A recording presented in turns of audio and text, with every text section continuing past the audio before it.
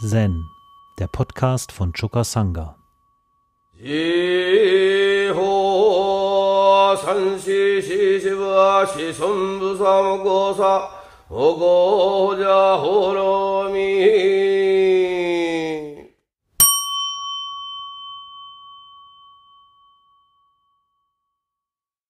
In der Choransammlung Shumon Katoshu, aus der wir ja hier schon mehrere Koans gehört haben, da steht im Fall 32 Umons enthüllt. Ein Mönch fragte Umon, wenn du deinen Vater und Mutter tötest, kannst du vor den Buddhas bereuen. Wenn du die Buddhas und die Ahnen tötest, wo kannst du bereuen? Umon sagte, enthüllt.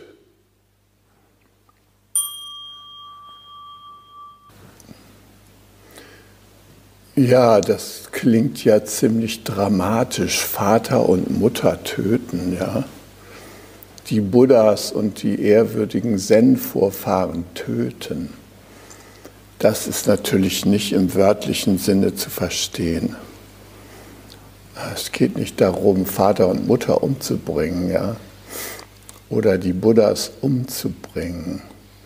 Und trotzdem sagt ein wichtiges Sprichwort des Buddhismus, triffst du Buddha unterwegs, schlag ihn tot eine ziemlich herbe Nachricht, ja.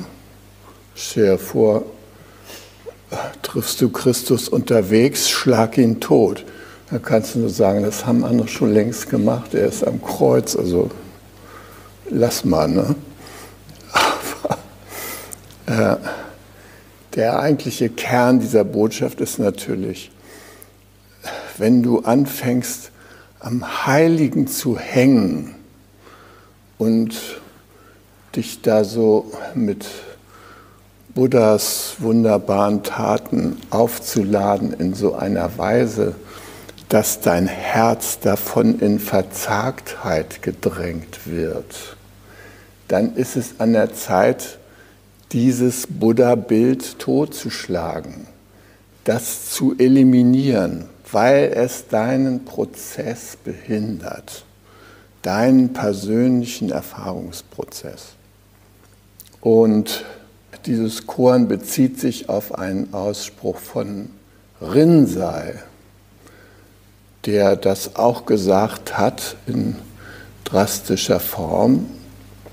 Ja, Jünger des Weges, wenn ihr Einblick erlangen wollt in den Dharma, so wie er ist, fallt nicht auf die irreführenden Ansichten anderer herein.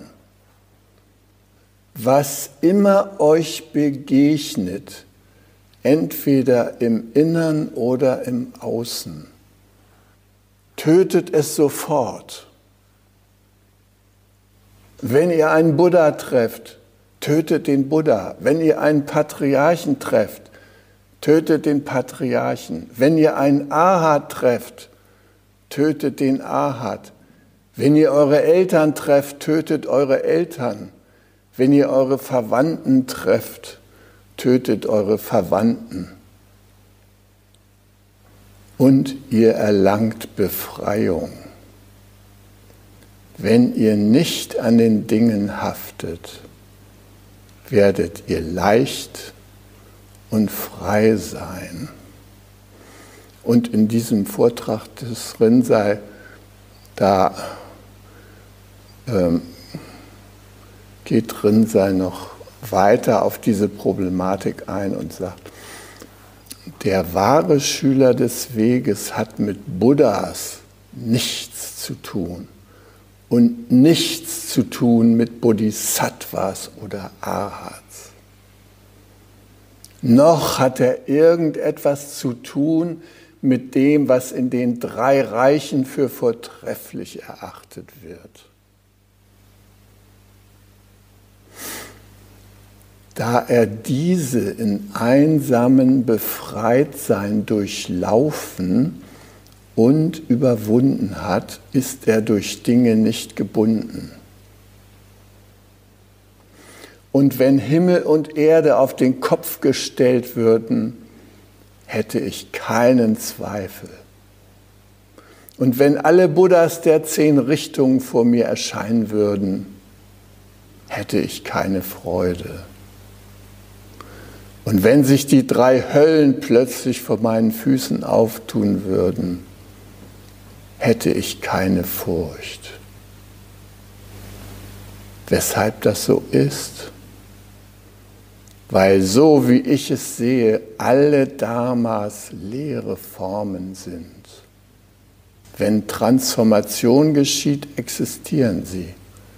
Wenn Transformation nicht geschieht, sind sie nicht existent. Die drei Reiche sind nur Verstand, die 10.000 Dharmas sind nur Bewusstsein. Folglich illusorische Träume, Blumen am Himmel gleich Projektion. Warum sich die Mühe machen, nach ihnen zu greifen? Nur du, der Jünger des Weges hier vor meinen Augen und meinem Diskurs lauschend, nur du gehst ins Feuer und verbrennst nicht gehst ins Wasser und ertrinkst nicht. Gehst durch die drei Höllen wie durch einen Vergnügungspark. Gehst durch die Reiche der hungrigen Geister und der Höllenwesen, ohne ihr Schicksal zu erleiden. Wie kann das sein? Es gibt keine Damas, die zu missbilligen wären. Wenn ihr das Heilige liebt und das Weltliche hasst, werdet ihr treiben und sinken im Meer von Geburt und Tod. Die Leidenschaften existieren bedingt durch die Gesinnung. Habe nicht Gesinnung. Und wie können sie euch fesseln? Ohne Unterschiede machen zu müssen und an Formen festzuhalten, werdet ihr den Weg ganz selbstverständlich in einem Augenblick. Dorinsei setzt sich mit unserer inneren und unserer äußeren Fesselung auseinander.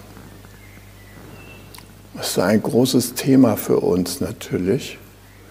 Wir spüren es ja, wie wir gebunden sind durch Muster und Erfahrungen und Geschichten, die wir uns erzählen und ähm, Vorstellungen, die aus der Vergangenheit kommen. Und zum Teil haben diese Muster und Gewohnheiten etwas Bequemes, ja, Bekanntes, Angenehmes dadurch.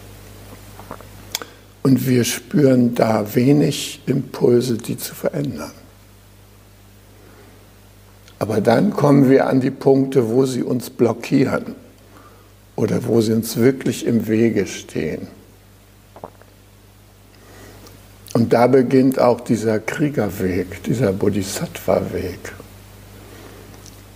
dieser Weg ins Erwachsenwerden und der Weg zur vollständigen Selbstverantwortung. Selbstverantwortung bedeutet nicht nur Verantwortung zu übernehmen für unsere Handlungen und Aussprüche und Äußerungen. Selbstverantwortung übernehmen bedeutet, dass wir die ganze Welt um uns herum verantworten ohne Ausnahme. Es ist alles unsere Welt. Die ganze Welt ist unser Spiegel. Die ganze Welt steht mit unserem Befreiungsimpuls in Verbindung, wenn wir damit ernst machen. Und die ganze Welt steht mit unserem Opferimpuls in Verbindung, wenn wir ins Opfer gehen. Wenn wir uns zur, zum Opfer äußerer Umstände erklären. Durch die Zen-Übung streben wir an, uns fähig zu machen für diese Art der Selbstverantwortung. Wir versuchen oder wir handeln so, dass wir, wie man im Zen sagt, Herren der Umstände sind oder Frauen der Umstände sind, die uns umgeben. Der Roshi sagte mal, Zen-Meister verfügen nicht über übernatürliche Kräfte. Sie sind nur Herren der Lebensumstände, die ihnen begegnen. Nur. Nur, hat er gesagt. Ich habe gedacht, wie ist das denn hinzukriegen? Ja, ja das ist ein gewisser Übungsweg, den wir da zurücklegen. Und auf diesem Übungsweg, da setzen wir uns auch immer zusammen auseinander oder versuchen Frieden herzustellen mit den Lebensumständen, die wir bereits erfahren haben, die in unserem Geist und in unserem Herzen Spuren hinterlassen haben und die manchmal regelrechte Autobahnen in uns hinterlassen haben, denen wir gar nicht mehr entkommen können, wo wir einfach nur noch mitrauschen. Ja, und da ranzukommen, das ist unter anderem eine würdige Aufgabe der Meditation. Ja, da können wir uns mit diesen Hinterlassenschaften beispielsweise unserer Kindheit beschäftigen. Nicht umsonst begegnen wir hier in der Meditation immer wieder der Frage, wie geht es eigentlich meinem inneren Kind? Manche sind ganz erstaunt, dass es so etwas wie ein inneres Kind überhaupt gibt. Ein inneres Kind, wo soll das denn stecken? Ja? ja, das innere Kind, das hat unsere frühen Erfahrungen aufgenommen. In der Zeit, als unsere Hauptbedürfnisse darin bestanden, Geborgenheit zu finden und in die Autonomie hineinzuwachsen. In diesem dualen Bedürfnis-Team, da fängt unsere eigentliche Entwicklung an. Es sind die ersten Schritte aus der Urgeborgenheit, in die wir zunächst hineinkommen, herauszutreten, nachdem Tanja uns als Hebamme hochgehalten hat, wir den ersten Schrei gemacht haben und sie gesagt hat, der Kleine ist quicklebendig, Mama, ich lege ihn dir jetzt an die Brust. So, vorher wird noch die Nabelschnur durchschnitten und so weiter. Die ganzen Geheimnisse will ich hier nicht erörtern aber es ist so ein Anfang in Geborgenheit und es ist ein Anfang in Heraustreten aus dieser Geborgenheit. Es ist ein spannender Prozess. Hier im Lebensgarten gibt es auch so ganz kleine noch, zum Beispiel der kleine Mattes, der ist jetzt vier Monate alt. Seine Mutter hat versucht, so diesen Geborgenheitsrahmen für ihn immer wieder sicherzustellen. Er wird rumgetragen, er hm, ist fast immer bei ihr oder bei seinem Vater. Jedenfalls ähm, hat er irgendwie eine wunderbare Zeit in diesen vier Monaten gehabt, Und der guckt auch so total fröhlich in die Welt, so total neugierig. Und der war schon in der Sauna mit seinen Eltern. Ähm, und der war in verschiedensten Erlebnisbereichen. Ja. Bei den Pferden, bei den Schafen. Also was das Leben so zu bieten hatte, beispielsweise an Berührbarem, das durfte er schon anfassen. Und man merkt ihm wie, an, wie sehr er neugierig ist auf die Welt, wie er bereit ist, den Mantel der Geborgenheit zu lüften und schon so loszukrabbeln und zu äh, erkunden, was so in seiner Umgebung so los ist. Also er geht schon Richtung Autonomie. Und das ist wunderbar, dass er so einen Start hat. Man kann hoffen, dass ihm nicht irgendwelche Unbilden ereilen, dass er irgendwelche traumatischen Schocks oder sowas erlebt. Bisher ist er jedenfalls davon behütet. Aber wir hier, die wir hier sitzen, wir sind da nicht immer behütet gewesen. Wir haben da viele Dinge erlebt, die unser Leben auch einschneidend geprägt haben und die unser Vertrauen in die grundlegende Geborgenheit zum Beispiel erschüttert haben. Ja. Wir fragen uns, sind wir hier richtig am Platz? Wollten wir hier auf diesem Planeten eigentlich ankommen oder wären wir besser woanders gewesen? Also diese Fragen stellen sich so nach einer gewissen Zeit und äh, manche von uns haben eben Einschneidendes erlebt. Geschwister sind gestorben, Eltern sind, haben sich getrennt, Eltern sind verschwunden, Eltern sind mit Arbeit vollgedröhnt gewesen und haben uns in irgendeine andere Form der Obhut gegeben. Eltern haben uns weggegeben.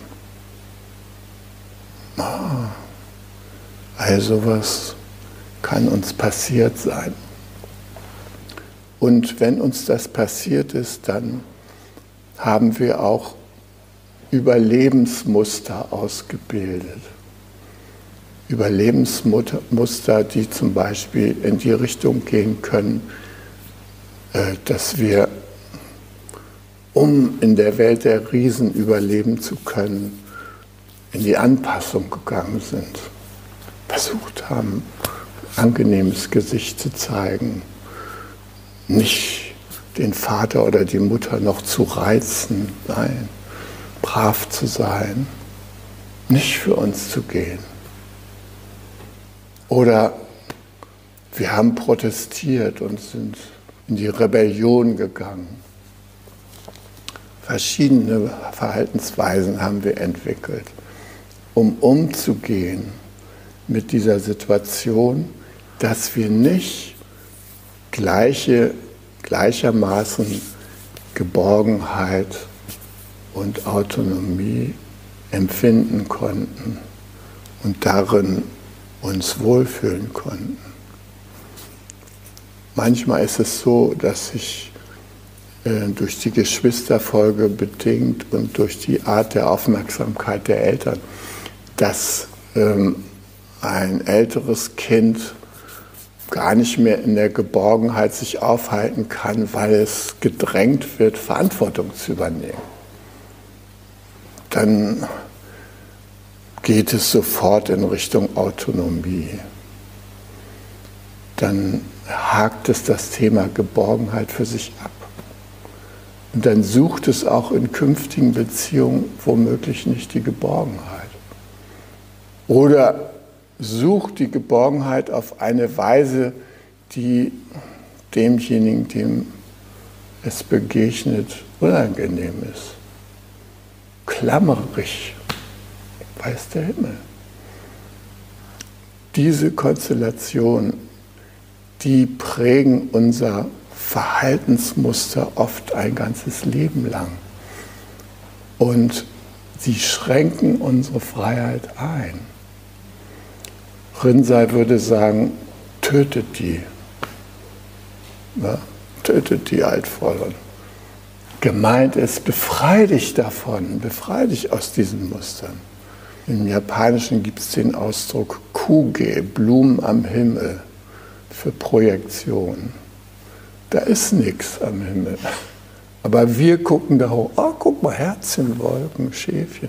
Das sind die einfachen und schlichten Formen der Projektion. Aber da sehen wir auch noch ganz andere. Herzchen und so, das kann man sich ja antun. Aber wenn da plötzlich, wer weiß, was für ein Böser am Himmel erscheint, dunkle Wolken, uh, dann erschrickt unser Herz. Und es ist trotzdem nur der leere Himmel, dem wir gegenüberstehen. Ist nichts anderes. Es sind unsere Zutaten, die wir dem Himmel da andichten. Kugel, Projektion. Und das ist das, was auch im Alltag passiert, dass wir unsere Mitmenschen, dass wir denen unsere Projektionen antragen. Und dann haben wir zum Glück in unseren Mitmenschen häufig Spiegel, die äh, das nicht einfach so hinnehmen, sondern die darauf auch irgendwie reagieren. Aber oft reagieren sie nicht mitfühlend, sondern mit Ablehnung, du spinnst doch oder mit Ärger, halt doch die Schnauze. Also das ist ja, was uns gerade nicht hilft. Und das ist die Welt, wo wir äh, ins Mitgefühl gehen könnten, ins Mitgefühl für uns selbst. Wenn wir einen Partner haben, der immer wieder davon spricht, dass er sich umbringen will, das löst ja bei uns sehr, sehr viel aus. Ja. Na, wie können wir da sagen, ach, das lasse ich jetzt mal bei dem. Das ist nicht, nicht so ohne weiteres möglich. Es ist klar, dass wir da ähm, engagiert sind, weil wir ja das Leben lieben und die Schönheit des Lebens. Und da können wir schlecht damit umgehen, dass es einem Menschen so schlecht geht, dass er auf das große, schöne, weite, Leben verzichten will, dass er ausscheiden will. Und wir verstehen seine Beweggründe nicht. Und wir würden ihm gern beistehen. Aber es nützt nichts, dass wir ihm sagen, hey, guck mal, wie schön die Blumen hier blühen und ah, du hast doch gerade ein neues Auto gekauft, fühlst du dich denn damit nicht wohl? Nein, es nützt gar nichts. Ja. Da ist diese tiefe Verzweiflung in diesem Menschen. Und die nehmen wir erstmal selber auf. Und da brauchen wir Mitgefühl mit uns selbst. Weil wir merken, wir würden so gerne beitragen, dass es diesen Menschen besser geht. Und wir haben keinen Weg vor Augen, wie wir das tun können. Und manchmal vergessen wir über den Schock und Schreck, dass es auch um uns geht. Reißen uns ein Bein aus, um irgendwas zu tun, um den davon abzubringen. Aber wir denken gar nicht an uns selbst. Dabei sind wir in dem Setting der wichtigste Akteur. Wenn wir nicht für uns gehen können und für unsere Bedürfnisse, dann sind wir wenig hilfreich. Im Zen gibt es immer so dieses Bild vom angeschlagenen Regenfass mit den Löchern. Da wird gesagt, dein guter Wille für andere da zu sein, nützt dir nichts, wenn du das Wasser des Lebens den anderen spenden willst und hast selbst lauter Löcher in deinem Tank da kommt keine richtige Flüssigkeitsmenge auf. Deshalb ist das Zen-Vorgehen, kümmere dich erstmal um die Löcher in deinem eigenen Tank. Dichte die ab. Werde stark und kräftig. Sei in der Lage, mit deinen eigenen Gefühlen zu sein. Sei in der Lage, aus deinen ganz persönlichen Reaktionsketten auszusteigen. Das ist ja immer das, was wir hinterher bedauern, dass wir einfach nur reagiert haben, dass wir diese magischen drei Atemzüge uns eben gerade nicht erlaubt haben. Ja, jemand hat uns angefahren und wir fahren zurück an. Das bedauern wir hinterher. Es wäre schön, wenn wir erstmal drei Atemzüge für uns haben können, bevor wir was erwidern. Und die Übung hier in der Meditation ist ja eine Übung, sich aus diesen Reaktionsketten herauszuarbeiten, herauszubefreien.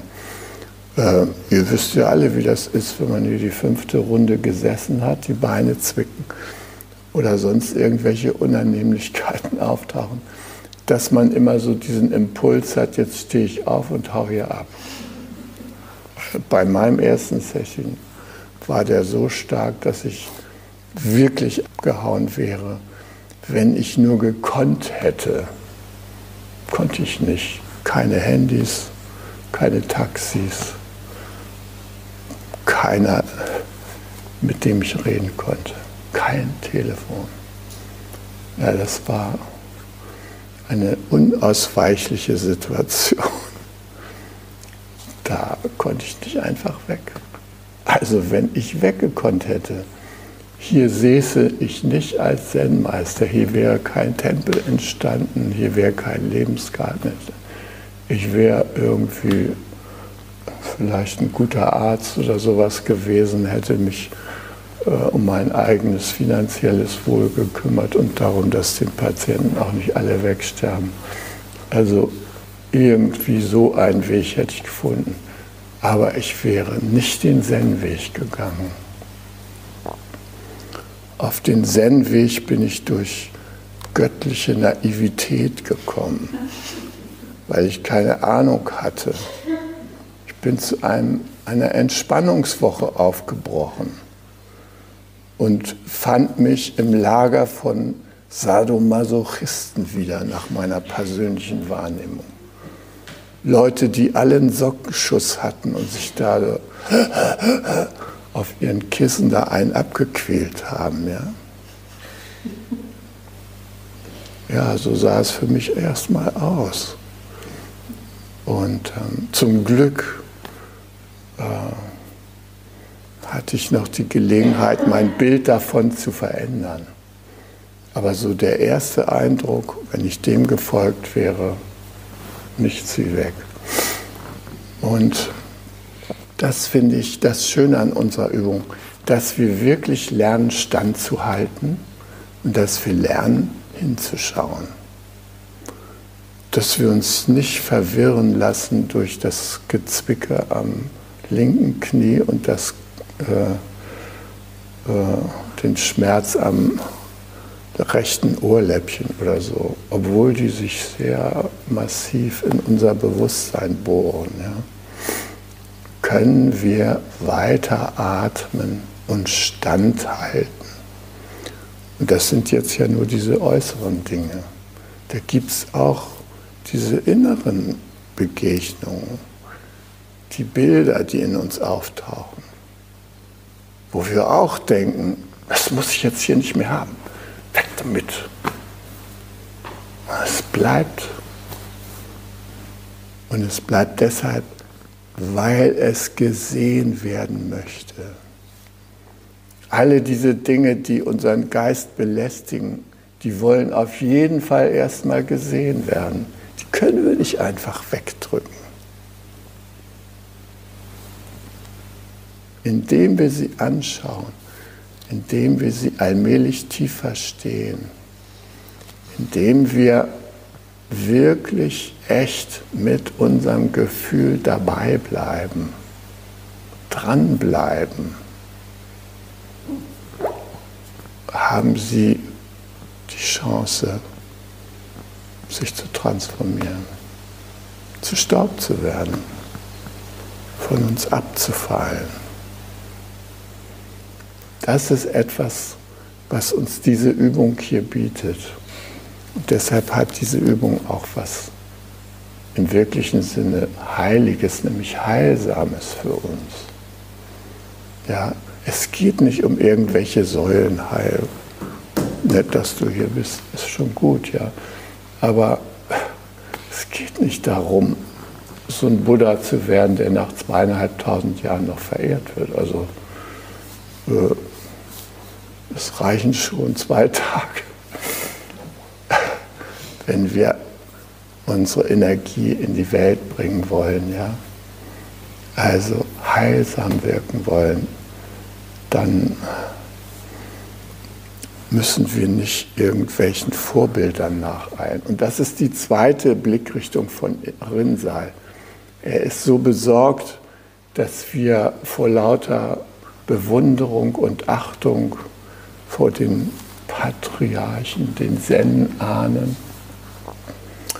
äh, vor irgendwelchen klugen Aussprüchen, vor dem, wie uns der Buddha dargestellt wird, hm, vor dem großen Buddha-Bild in Bronze in Nara, in Daibutz-Den, ja, vor dem steht, denkt man, mein Gott, wie klein bin ich eigentlich.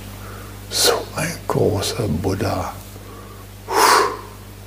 Atmet man noch dreimal tief aus und dann klingelt man mal so an dem Messing, ja, oder der Bronze und steckt da brav seine Räucherstäbchenbündel in die großen, großen Räuchergefäße und wendet sich ehrfürchtig wieder ab. Ähm, das kann man ruhig mal machen, das schadet auch nichts. Ja? Aber nicht die ganze Zeit. Also sehr wichtig. Vorbilder können uns inspirieren, das ist gut. Aber Vorbilder sollen uns nicht tyrannisieren. Und davor warnt uns Rinzai. Lasst euch nicht tyrannisieren von euren Vorbildern. Mögen es die Eltern, die Verwandten, die Buddhas, die Ahats, die Patriarchen, wer auch immer es sein mögen. Lasst euch von denen nicht tyrannisieren. Seid ihr selbst. Übernehmt Selbstverantwortung für euren eigenen Befreiungsprozess und geht durch den Schlamm und was auch immer durch und macht das zu eurer lebensdienlichen Erfahrung. Und ihr werdet sehen, ihr geht auf Wasser und ihr geht durchs Feuer und es passiert euch nichts. Es sind natürlich nur Bilder. Ja, ihr geht durch Wasser. Ihr geht durch Strömen von Tränen. Und ihr bleibt trotzdem ihr selbst, weil ihr das große Selbst in euch entdeckt habt. Das, was nicht zu fassen ist durch Formen, dass man nur so spüren kann, dass es weit reicht, dass wir im Grunde genommen mit der Grenzenlosigkeit auf Du und Du stehen.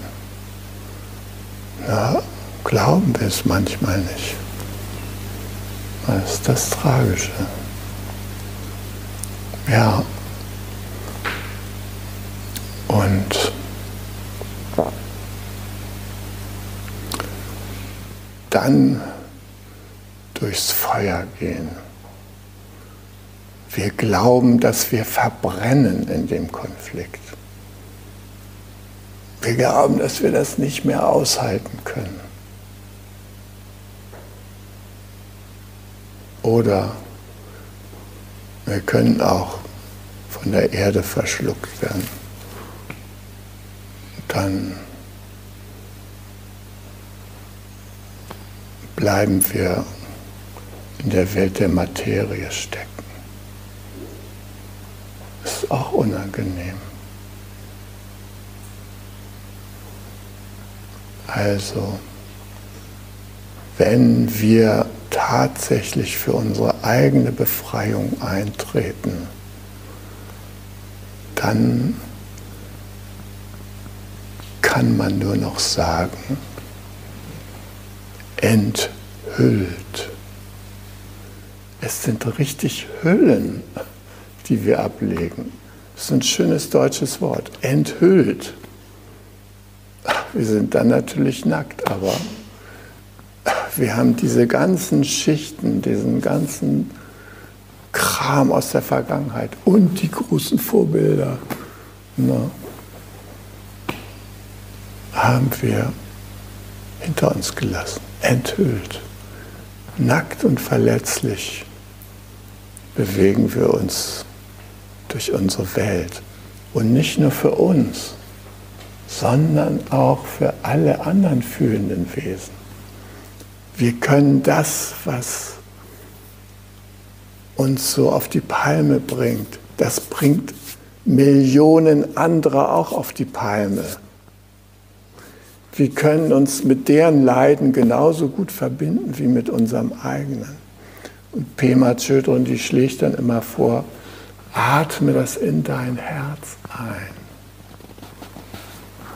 Atme diese starken Erregungen in dein Herz ein und bring sie da zur Ruhe. Du bringst du nicht nur Frieden zu dir selbst, sondern auch in die ganze Welt.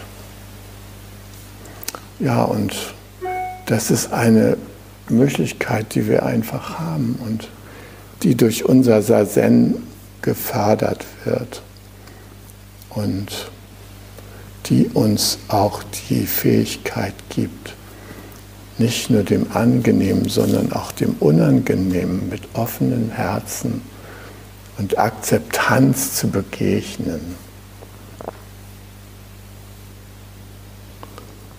Wenn jemand stirbt,